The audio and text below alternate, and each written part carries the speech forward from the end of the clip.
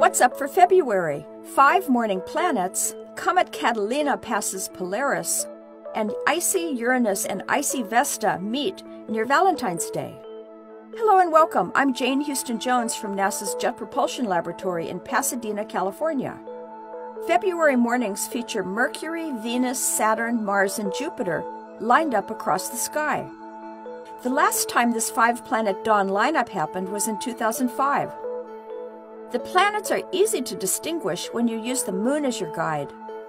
Look for reddish Mars near the moon in the early morning of February 1st. Then on the 3rd, the moon passes near butterscotch hued Saturn. On the 6th, the moon, Mercury, and Venus make a pretty triangle before sunrise. Then it's Jupiter's turn to pose with the moon on the 23rd.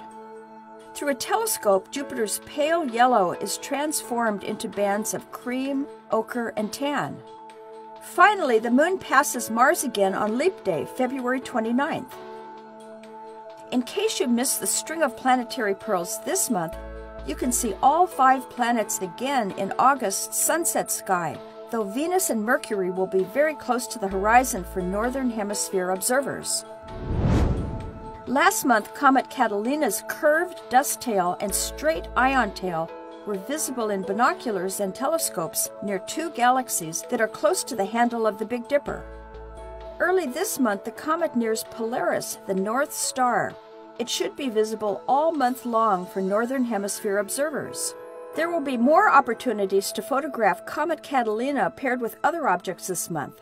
It passes the faint spiral galaxy IC 342 and a pretty planetary nebula named NGC 1501 between February 10th and the 29th.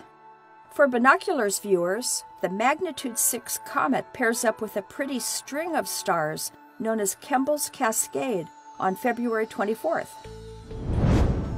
Finally, through binoculars, you should be able to pick out Vesta and Uranus near one another this month. You can use the moon as a guide on the 12th and the corner stars of Pegasus all month long. You can learn about NASA's missions to the planets and beyond at www.nasa.gov. That's all for this month. I'm Jane Houston Jones.